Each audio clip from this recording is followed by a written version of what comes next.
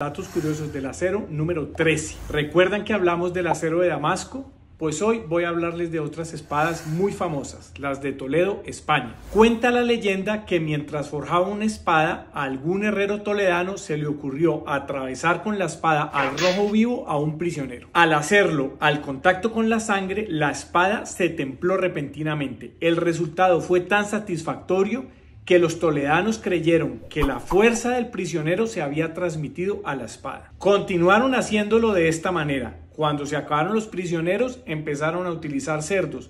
Cuando se acabaron los cerdos, dijeron, debe haber otra manera de hacer lo mismo. Y empezaron a ensayar sumergiendo la espada en agua, en aceite o en combinaciones de ambas, hasta lograr la calidad que hizo famosas a las espadas de Toledo en toda Europa.